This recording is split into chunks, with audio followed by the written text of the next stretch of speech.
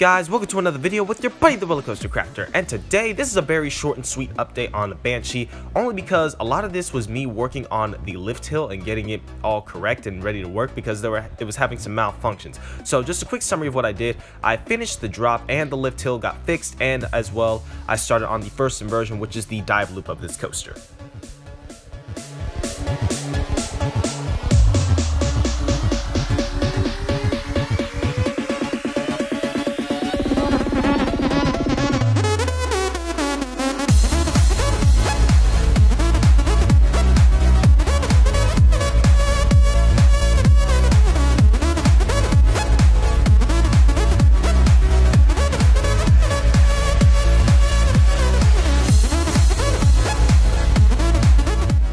And now right here, we are finally working on the first inversion of this coaster. I am so happy to be finally done with the hardest part, which was the lift hill. And now pretty much all I'm working on is inversions. And it's pretty much kosher all the way to the end of this coaster because this coaster is pretty much made of seven different inversions. So this is going to be really simple.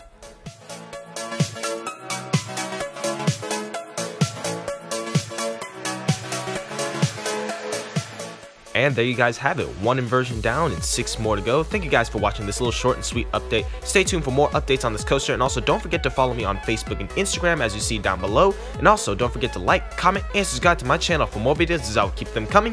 Thank you guys, I'll see you next time on the Coaster Crafter channel. Peace!